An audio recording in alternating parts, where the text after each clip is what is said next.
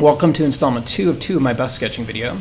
To kind of get calibrated here, the leftmost picture is where we left off with the black and white sketch. The middle picture is a result of the color sketch that we get to at the end of this video. And the one on the right is the final result after cleaning up the color sketch with some glazing and detail work to tighten it up. Uh, let's get right into it. If you're trying to do a rapid sketch, uh, key part is to not be timid or precious about your paint. I chose a red and a yellow because I knew I needed these colors to mix my skin tones, but I also added a blue and a blue green to my palette so that I could uh, desaturate my mixes. Uh, I'll talk a little more about that later. If you want to sketch efficiently, you should be mixing all of your colors. And if you're mixing all of your colors, you want to start with pure pigments and not pre-mixes. So I would say put your flesh tone paints away if you're going to try this process out. So sometimes for a big project, I'm thinking of a very specific color scheme, but for this one, I wanted to keep it very basic. Uh, just a warm Caucasian skin tone and a steel breastplate with cool shadows. Uh, I guess I didn't want to make it any more complicated than that because I want to avoid diving into color theory or color schemes because that would be a whole different topic. So I start off by mixing a gradient for my skin tone. Uh, I think the mentality to have here while you're mixing is to think about your shadows, midtones, and highlights all as different hues because I'm trying to keep this super simple, uh, I'm thinking about my shadows as a more saturated red, my midtones as kind of a desaturated red yellow, and then pushing my highlights uh, even more desaturated and even more yellow. I'm mixing my color this way because my goal is a natural, realistic Caucasian skin tone. But there's plenty of opportunity to get super funky with this. It would be totally legitimate to have a much bluer, greener shadows and redder highlights, or vice versa, or kind of any combination of things. So, a couple of my favorite painters, uh, a duo known as Craftworld Studio, uh, have some great examples of more impressionistic skin renditions. Here's some of their work where you can see that extreme hue variation, but you can also look at any art, fantasy or otherwise, for ideas. Here's some of my favorites. Uh, there's pieces by Frank Frazetta, Brom, and Patrick Jones that have uh, more illustrative skin renditions. So getting started here, just like we did with the black and white sketch, the objective is to start slapping paint on and to not be timid.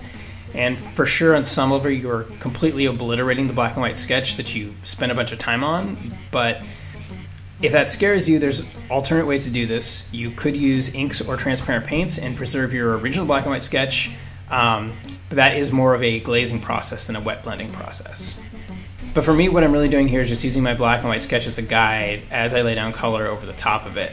Um, it's also helpful to continue to mix paint as you go in order to riff on different tonalities. I mentioned before about adding blue and green to the palette to desaturate my skin tone. In general, if you want a richer, more nuanced color, it's better to desaturate with a complementary color rather than black and white.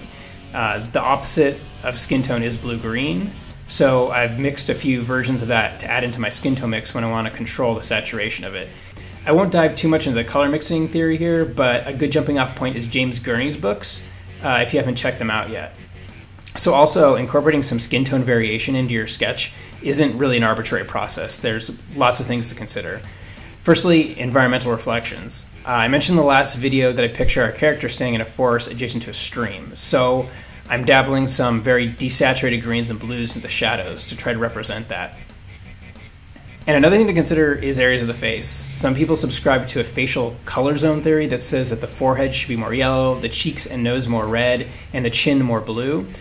Personally, I think this is maybe 20% true and 80% just a stylistic thing, but I can definitely agree that the nose and cheeks are consistently more red. And this is something you can study by looking at actual people's faces or by studying photo reference. So at this point, I start to move on to the breastplate. I usually don't paint section by section at all. I usually move around the bust all at once like I did in the black and white sketch video, but I thought that moving sectionally might help here so I could talk about the different considerations of each part.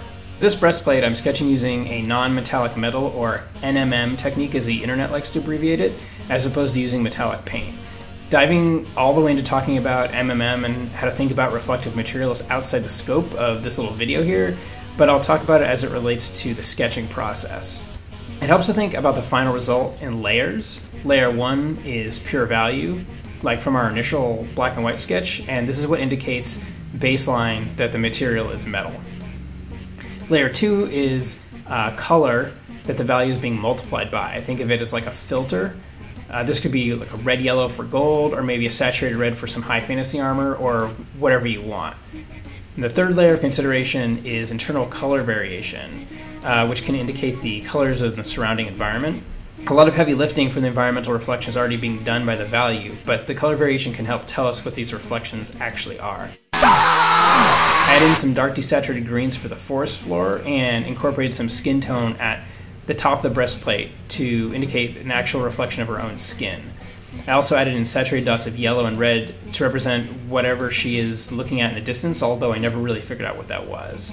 For the hair, I deviated a little bit from my original technique of sketching color over the black and white sketch. I wanted very shiny hair, and in this case, the rendering of hair is a lot like metal in that there's a very sharp fall off from the highlights to the shadows. This is actually a good segue to talk about thinking of things in terms of gamma curve.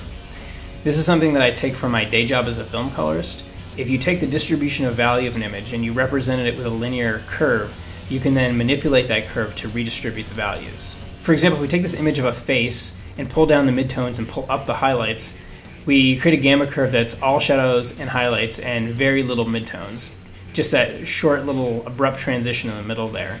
Alternately, if we create an abrupt climb to midtones and a long plateau, we end up with an image that's almost all midtones. If you start to think of each material as having its own unique gamma distribution, it's helpful in differentiating your materials. It's also part of your style. The relevance to hair here is that shiny hair is more like that first gamma example. It's mostly shadow or dark or midtone and then a sharp spike to the highlights. As an example, we can actually take a picture of hair with more muted highlights and redistribute the gamma curve to make it appear shinier.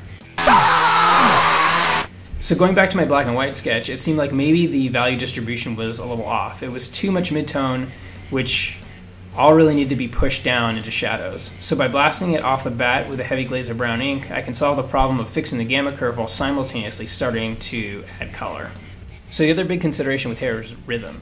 If you look at some of the best painted hair on miniatures, uh, for example, this piece by Natalia Orex, or I really actually don't know how to pronounce her name at all, uh, but I'll definitely link her below.